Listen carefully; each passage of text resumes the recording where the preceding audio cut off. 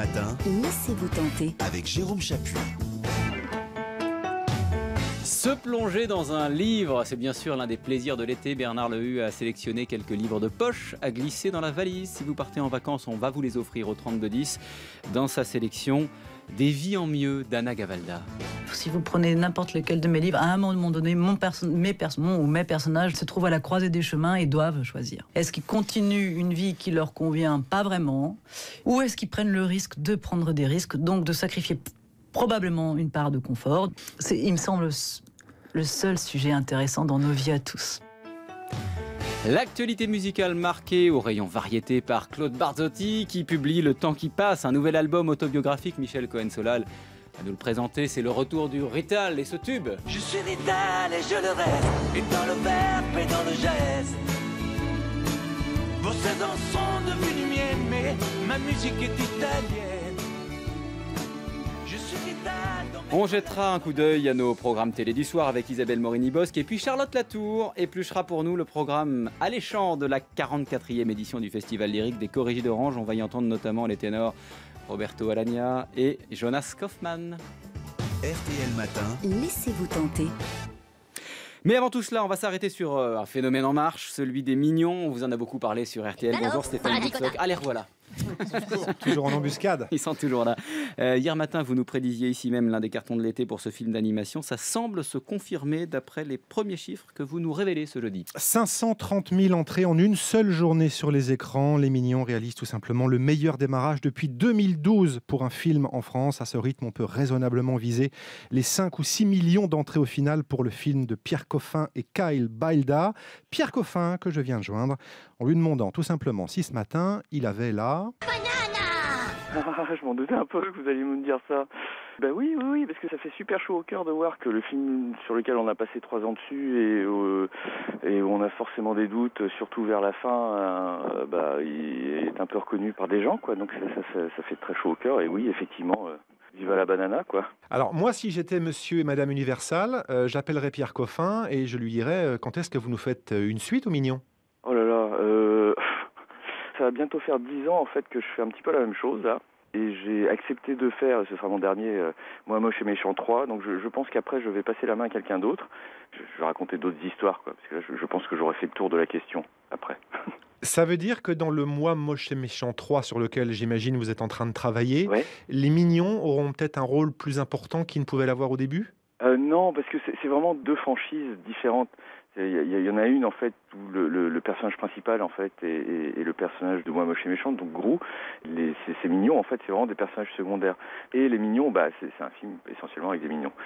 Et, c'est très dur en fait de mélanger les deux ensemble et de trouver un équilibre. Donc dans, Moi Moche et Méchant 3, en fait, je, pense qu'on est en train d'essayer de, rassembler le meilleur des deux, mais, de continuer plutôt dans la lancée de, des Moi Moche et Méchant, c'est-à-dire avec une, dose de mignons un peu moindre que dans le film. Euh, des mignons. Et Moi Moche et Méchant 3 sortira à l'été 2017. 530 000 entrées donc hier pour les mignons sur les écrans français.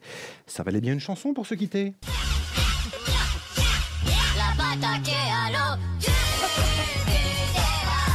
Voilà, cadeau.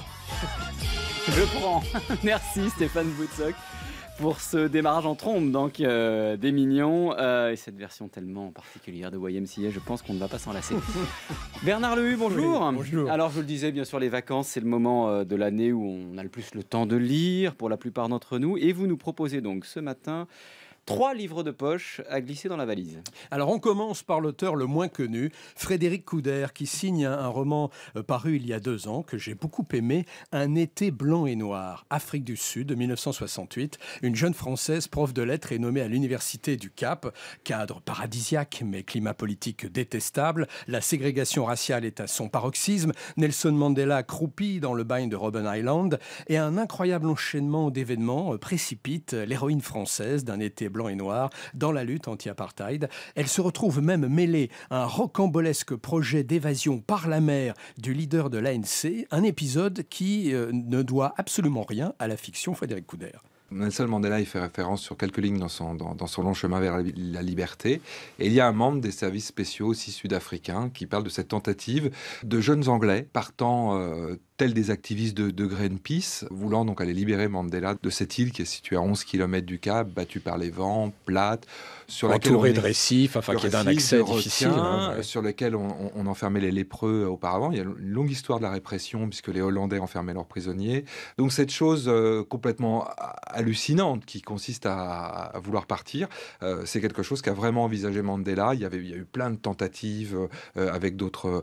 on a songé à un moment donné envoyer une sorte d'hélicoptère qu'il aurait déposé sur le consulat soviétique euh, à Cape Town, jusqu'au moment où il s'est rendu compte qu'il était probablement plus utile euh, sur Robben Island à former des nouvelles euh, générations. Frédéric Couder, l'auteur d'un été blanc et noir au livre de poche, trépidant comme un thriller et romanesque en diable. Bref, bah, de, de quoi mettre de la Mhm. couleur dans Mhm. votre bibliothèque. Bernard, vous avez commencé par le moins connu. Pour Oui. votre deuxième suggestion de lecture, euh, une valeur sûre. Ah oui. Anna Gavalda. Ben oui, euh, Des vies en mieux, réunies en un seul volume, hein, c'est c'est un inédit, ces deux dernières parutions, Billy et La vie en mieux. Anna Gavalda y met en scène trois personnages, trois jeunes gens, Billy, Mathilde et Yann, trois enfants du siècle, trop à l'étroit dans des destins étriqués, changer de vie au risque de se planter plutôt que de n'en vivre aucune. Voilà un, sujet cher à l'auteur de Ensemble c'est tout. Évidemment que si ces, sujets me tiennent tellement à cœur, c'est que j'ai l'impression de les connaître un peu. C'est évident que moi j'étais professeur et qu'à un moment donné, je me suis dit, bon, pour me prendre au sérieux dans l'écriture, chose que je n'arrive toujours pas à faire d'ailleurs, euh, ce serait peut-être mieux de travailler sans filet, donc de donner ma démission. Et je me souviens à l'époque, très gentiment, la dame du rectorat m'avait dit, euh, prenez euh, un congé sabbatique, je ne sais plus comment on disait. Ce sera mieux, comme ça, si ça marche pas, l'écriture, vous pourrez reprendre votre poste, etc. Et je me souviens très bien, n'avoir même pas hésité. À un moment donné, il faut sauter, quoi. C'est vraiment comme pareil pour mes personnages. Il faut y aller. Voilà. Tant pis si on se fait mal, si l'eau est froide. Il faut voir ce qu'il y a de l'autre côté, quand même. Ça vaut le coup. Ben oui, ça vaut le coup.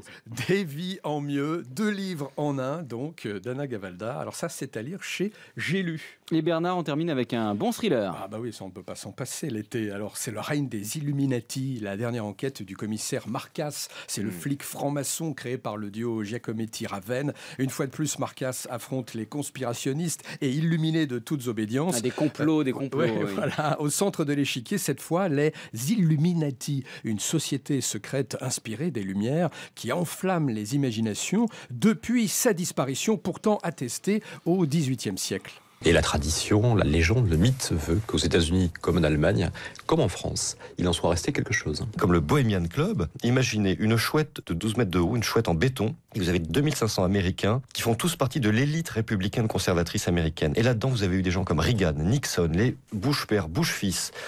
J. Edgar Hoover, le patron du FBI, et ces gens-là se réunissent une fois par an et font des incantations à cette chouette. La chouette, c'était l'emblème des Illuminati. Et ça, ça n'est pas de la fiction. C'est vrai, c'est ça, c'est un thème favori des conspirationnistes, le Bohemian Club. Au début, je les ai pas crus. Je leur ai dit, ils inventent n'importe quoi. Mais ce Bohemian Club existe réellement, et je peux vous dire qu'on y parle de choses très sérieuses, de gouvernance mondiale, de prolifération d'armements. On a discuté de l'invasion de l'Irak, et c'est là où nous on fait notre boulot. On dit voilà, voilà ce qui est vrai, voilà ce qui est faux. Giacometti et Raven, les auteurs de l'inquiétant règne des Illuminati, à dévorer cet été chez Pocket. Et ces trois livres, on vous les offre au Ah oui. 3210. euh, le règne des Illuminati, mais aussi Des vies en mieux d'Anna Gavalda et Un été en noir et blanc, un été blanc et noir, pardon, de Frédéric Couder. Si vous répondez à la question de Bernard, Eh bien, avant d'écrire, Anna Gavalda était prof ou médecin? C'est facile si vous avez été Oui, je attentif. crois. hein. Ah, puis si Réponse. on connaît bien Anna Gavalda. Voilà, réponse au 3210. Et c'est l'heure des audiences télé, Isabelle Morini-Bosque. Les audiences d'été. Alors, la série américaine Arrow est en tête sur TF1, 3 700 000 téléspectateurs et 17% du public. C'est assez faible. Euh, C'est suivi de très près par Nina, la fin du feuilleton médical de la 2, 3 300 000 téléspectateurs et 15%. Il y aura, je vous l'ai dit, une autre, une deuxième saison. Et en troisième position, des Racines et des Ailes, 2 700 000 téléspectateurs et 13% du public sur la 3. C'est un score constant. La taupe fait également le même score que la semaine dernière. C'est pas assez c'est pas une débâcle, c'est pas un succès. 2 200 000 téléspectateurs et un peu moins de 11% du public pour M6. Et alors, la valeur sûre, les grandes vacances sur France 4, près de 980 000 téléspectateurs. Vieux film qui a fait ses preuves. C'est dans les vieux pots, toujours. Voilà. voilà. Euh, à suivre, dans Laissez-vous tenter, euh, un Rital avec Michel Cohen-Solal, le retour de Claude Barzotti, et euh, une Espagnole, Carmen au Corrige d'Orange, avec Charlotte Latour. À tout de suite. RTL Matin Laissez-vous tenter. avec Jérôme Chapuis. Alors, Michel Cohen-Solal, je sais que ce matin, Eh oui. vous vous faites plaisir. Et c'est vrai. Grâce à Monsieur Claude Barzotti et son nouvel album. Et dans le verbe et dans le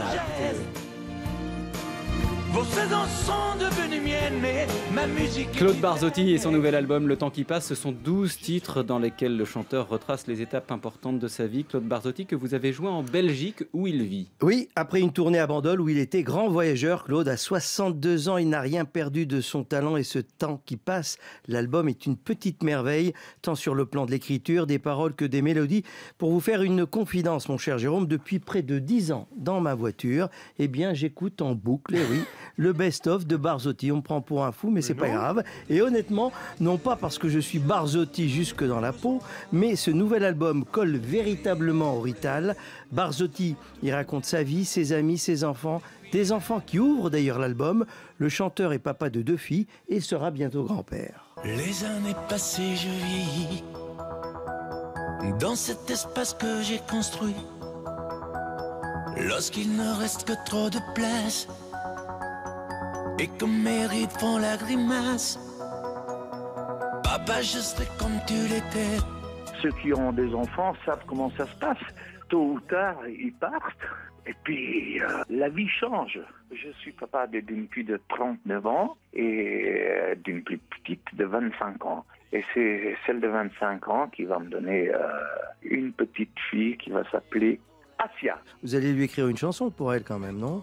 Ah, ça c'est certain. À un milliard pour cent. Si j'écris pas pour ma petite fille, j'écrirai pour qui? Je suis déjà amoureux. Quand les enfants, quand les enfants s'en vont, parfois sans larmes. Barzotti qui se souvient aussi de son premier amour, il lui a écrit une chanson, Ma môme. Elle avait le teint clair de lune et les cheveux ensoleillés, la grâce d'une ballerine, à croire qu'elle allait s'envoler. J'avais 13 ans, j'étais en sixième primaire et j'étais très amoureux d'une fille qui s'appelait Eliane, qui habitait juste en face de chez moi. Je passais des heures à ma fenêtre rien que pour la regarder passer. Ah, c'était très très beau. Bon, c'était juste euh, se tenir par la main.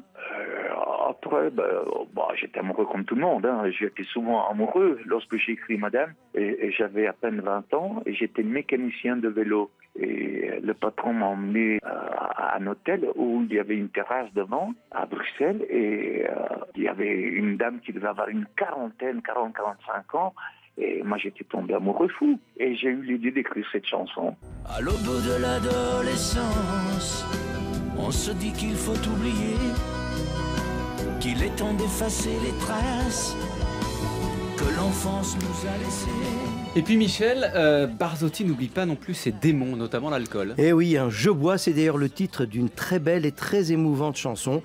Barzotti qui depuis quelques mois n'a plus bu une seule goutte d'alcool. Je bois pour mieux me faire entendre. Je bois et me laisse parler. J'avais 31-32 ans, j'avais jamais bu une goutte de ma vie. Et j'étais tellement timide, timide, qu'un jour je reçois un disque de platine. Il y avait ah, bon, un tas de personnalités très importantes.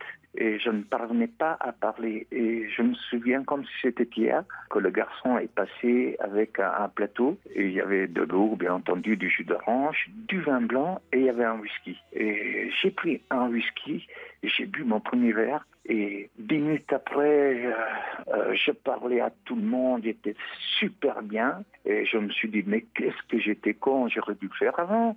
Et malheureusement, c'était un piège à con. Et après, c'est l'escalade, quoi. Un verre, deux verres, trois verres, et puis voilà, c'est des bouteilles. Tu vois, je triche et vis en fraudeur. Je bois, je bois et je boirai.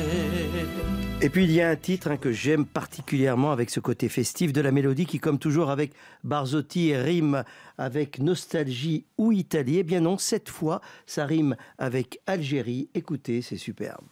Croissant de lune et une étoile, le rouge du sang, le vert espoir, les couleurs de mon Italie. Le sable blanc, le vent salé, bordé de Méditerranée, je te découvre l'Algérie.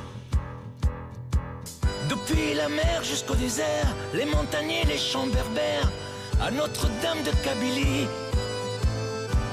Douce et si forte à la fois, après les larmes et les combats, fière et libérée aujourd'hui.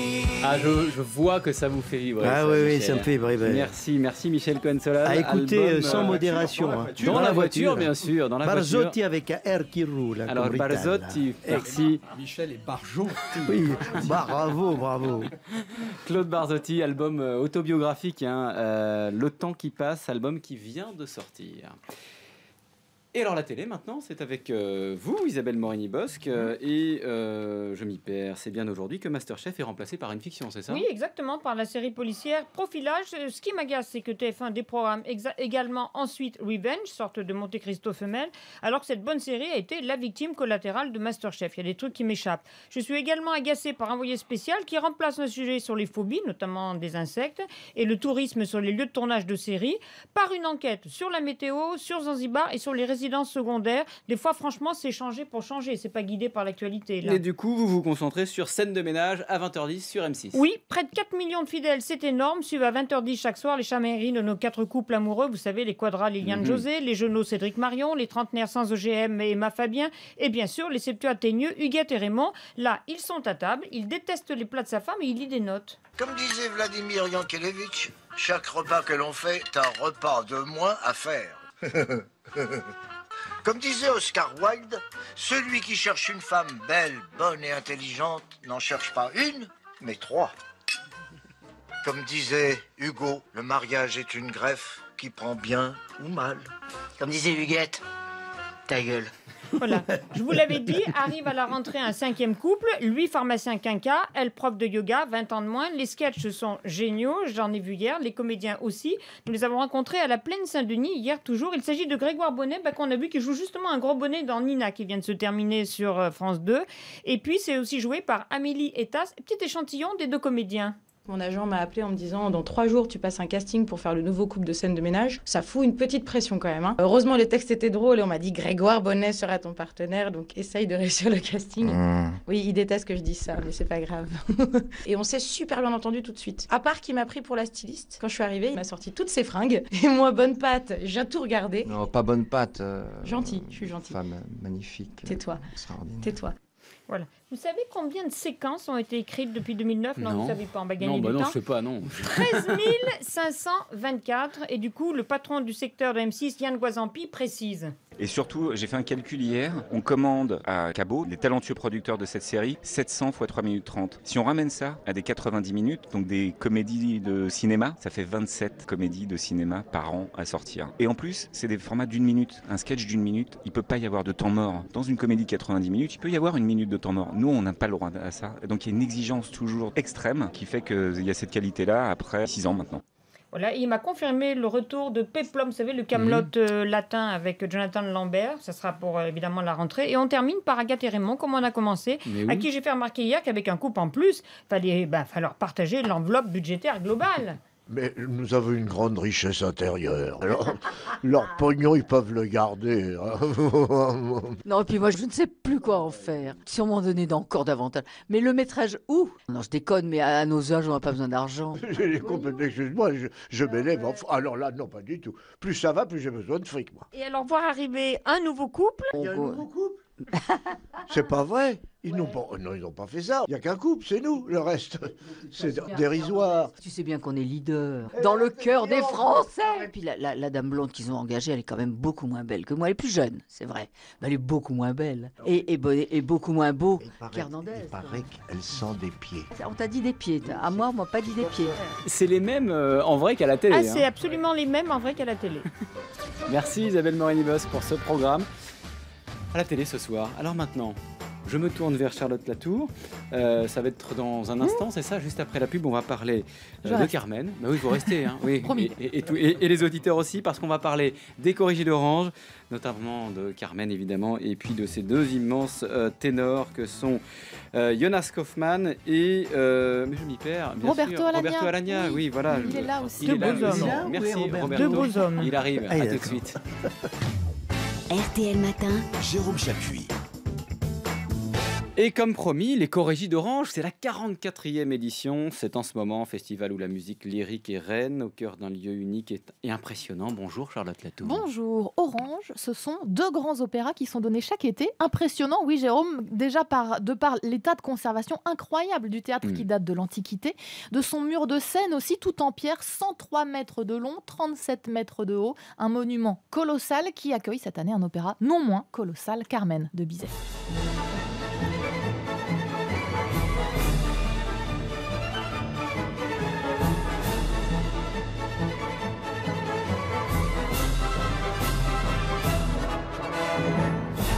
La mise en scène est conçue autour d'un gigantesque jeu de cartes en référence à l'ère des cartes Bien de l'acte sûr. 3, cette scène où Carmen prédit un avenir funeste pour sa vie amoureuse.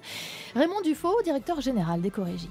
L'idée de la mort, de la fatalité, il est, parti du trio des cartes du euh, troisième acte, euh, Louis Désiré, qui fait à la fois mise en scène, décor et, costume, qui vient pour la première fois à Orange en, tant que tel. Donc c'est une main qui jette ce jeu de cartes sur la scène. Donc tout au long des actes, on va jouer avec euh, ces cartes. C'est une mise en scène qui est évidemment extrêmement fidèle à l'œuvre et à la partition, mais totalement débarrassée de tous les scories folkloriques, bon, qu'on a moins l'habitude heureusement de voir dans Carmen aujourd'hui, mais qui parfois peuvent exister encore.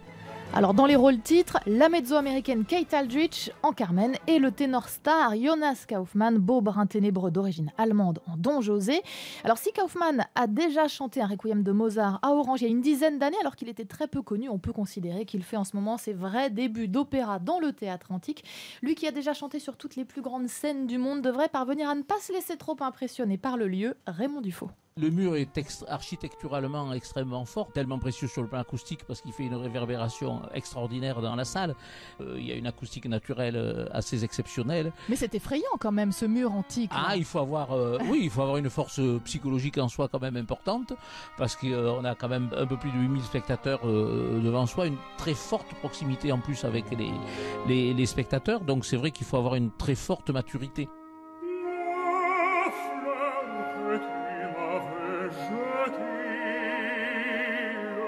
Un autre ténor, une autre star présente au Corégie et qui ne se laissera pas impressionner non plus, Je ne c'est pense pas. Roberto Alagna. Alagna a toujours été très fidèle au Corégie. Cette année, il est le trouvère de Verdi.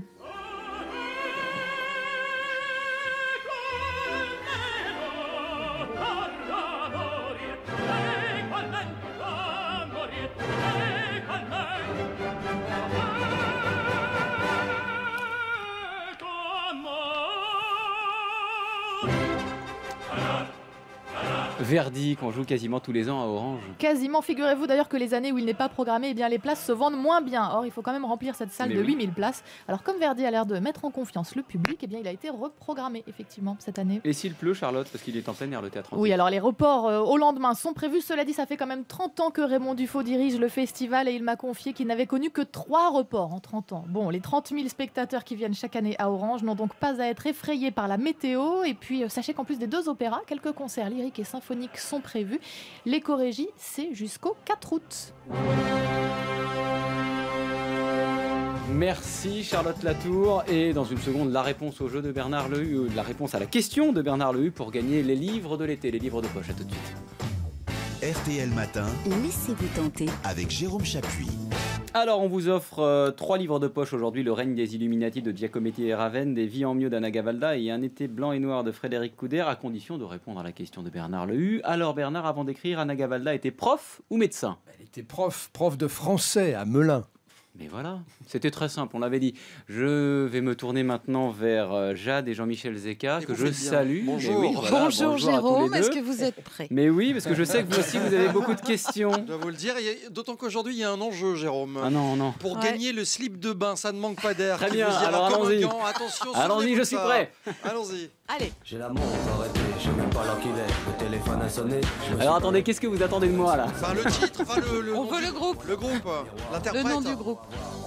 sur l'horaire. Vous avez dansé là-dessus, vous avez attendez, ondulé votre corps. C'est vacances, j'oublie tout, mais alors le titre. hein. Non, le- Non. l'artiste.